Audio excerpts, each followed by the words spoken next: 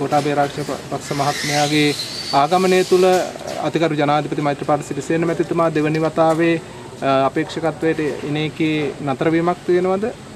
නෑ අතිගරු ජනාධිපතිතුමාගෙන් සියලුම ආසන සංවිධායකවරු සහ මධ්‍යම කාරක සභාව ප්‍රාදේශ සභා මන්ත්‍රීවරු ඒ වගේම විශේෂයෙන් පළාත් සභා මැති ඇමතිවරු විශාල ප්‍රමාණයක් ඉන්නවා. ඔය ආණ්ඩුකාරවරු ඇතුළු සියලු දෙනාම අතිගරු ජනාධිපතිතුමන් ඉල්ලීමක් කරලා තියෙනවා දෙවෙනි වතාවටත් ඉදිරිපත් වෙන්න කියලා. යම් හේකින් එතුමා තාම තීන්දුවක් දීලා නැහැ.